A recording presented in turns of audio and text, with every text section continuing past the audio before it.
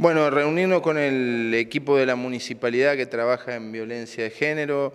agradecerle al intendente por esta predisposición, a Estiza, a Federico Larrañaga. bueno, y pudimos contar las implicancias que ha tenido la Ley de Derecho y Garantía de Víctimas de Delito y sus familiares y la necesaria Em, acción que tiene que llevar adelante el Ejecutivo para su implementación, donde quedó evidenciado la necesidad de establecer un CAJ en la región, pero también estuvimos dialogando sobre este proyecto de ley que tuvo media sanción en Cámara de Diputados, que es la prisión preventiva para el que viola una medida perimetral. Es decir, Santa Fe como provincia no solo está atravesado por un problema de violencia e inseguridad, sino que es la provincia que tiene el doble de femicidios que el promedio nacional y el área metropolitana de Rosario tiene cinco veces más que el promedio nacional. Por tanto, es necesario eh, que el Estado actúe en tiempo oportuno para que en casos de violencia de género y violencia familiar, la escalada de violencia sea interrumpida por el accionar del Estado y no terminemos en situaciones de tragedia como las que hemos estado viviendo. Por eso, nosotros impulsamos esta ley que, bueno, que digamos, direcciona el accionar de jueces y fiscales para que la perimetral no suceda, eh, eh, digamos, lo que sigue sucediendo en la actualidad, que la perimetral es una ficción y que esa ausencia de eficacia de las medidas terminen en situaciones trágicas. Así que estuvimos dialogando con un equipo que tiene eh, vinculación y relación con la problemática, que conoce la importancia de, esta medida eh, y realmente le reclamamos no solo al Ejecutivo,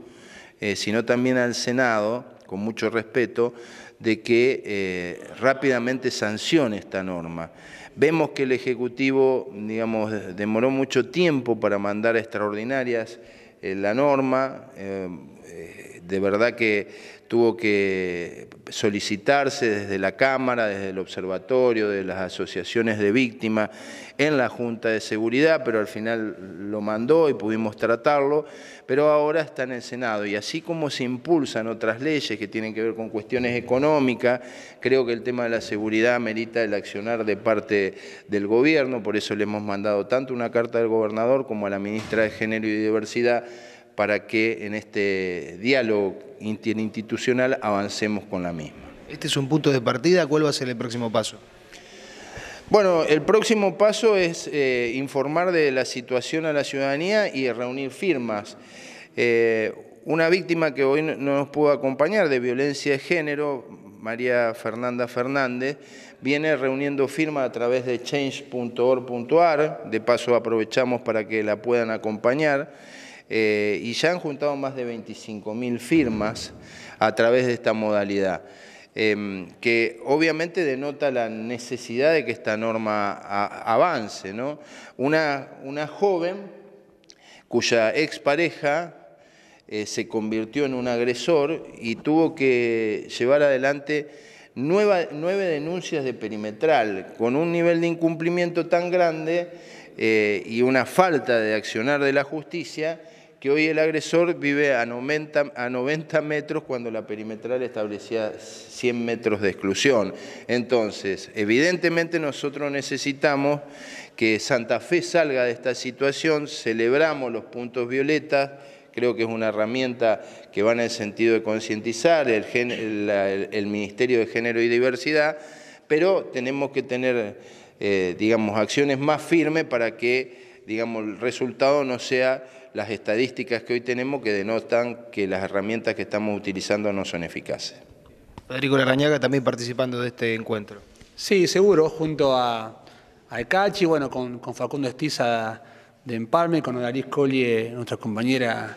eh, candidata a concejal también. La verdad que, bueno, eh, todo lo que, lo que pueda hacer, lo que pueda sumar para que la ciudad esté eh, mejor es, es bienvenido. Y creo que leyes como, como esta creo que le hace bien a, toda la provincia, inclusive a la ciudad donde uno vive y donde uno también sabe que estos casos suceden. Así que la verdad que muy contento. Eh, eh, compartimos con el CACHI la tarea territorial, por un lado, como siempre lo digo, esto de poder recorrer, de poder escuchar, de poder hacernos ecos de las demandas en, este, en, este, caso de las mujeres de la ciudad.